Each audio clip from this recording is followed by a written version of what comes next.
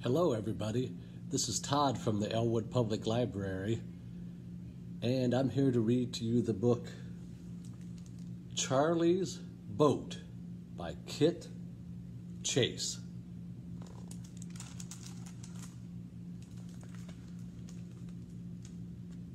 It was a fine fishing day.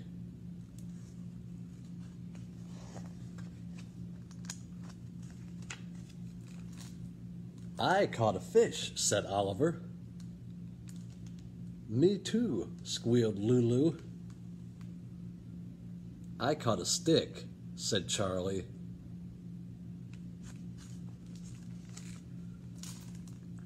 Charlie caught a lot of sticks. I can't fish, he grumbled. All the fish are in the middle, and the water's too deep for me.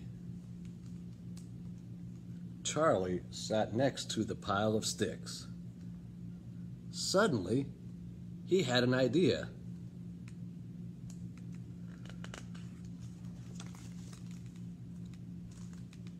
Watch this, Charlie shouted to his friends. Wow, let's all make boats, shouted Lulu.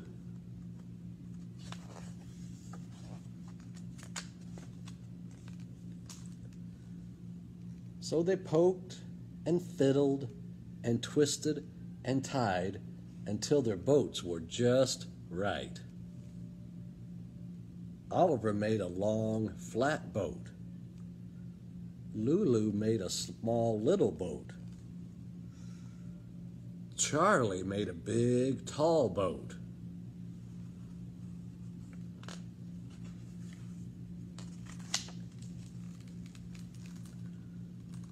My boat's the biggest and fastest, said Charlie. There's only one way to find out, said Oliver. Let's have a race.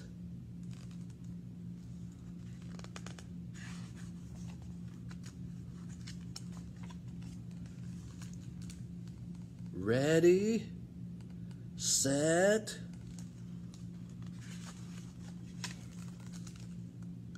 go.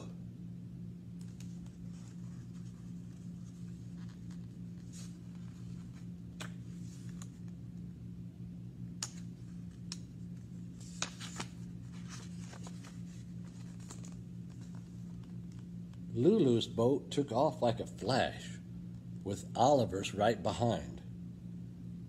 Charlie's boat was big, but it wasn't very fast. It got stuck on some rocks and tangled in some branches.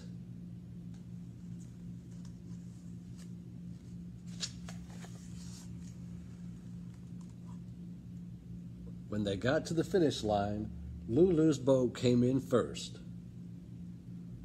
Oliver's came in second, and Charlie's finished a very slow last. Hmm. Congratulations, muttered Charlie. He tried to be happy for his friends, but he didn't feel very happy. I guess I'm not good at fishing or making boats. That's it, cried Oliver. I've got a grand idea that will help you do both.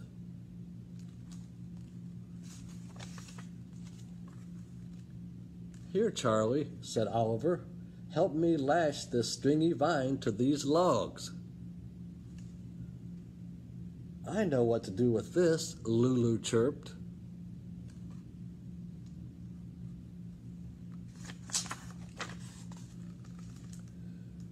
When they were all finished, Lulu helped Oliver push his grand idea into the water, and they sent Charlie to gather their fishing supplies.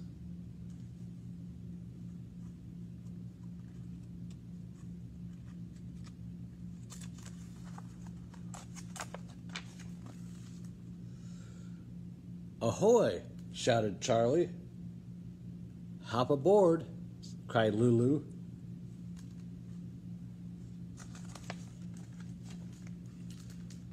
and Charlie caught his first fish. Very good. Well, that is the end. I hope everybody enjoyed it. And have a good day, everybody.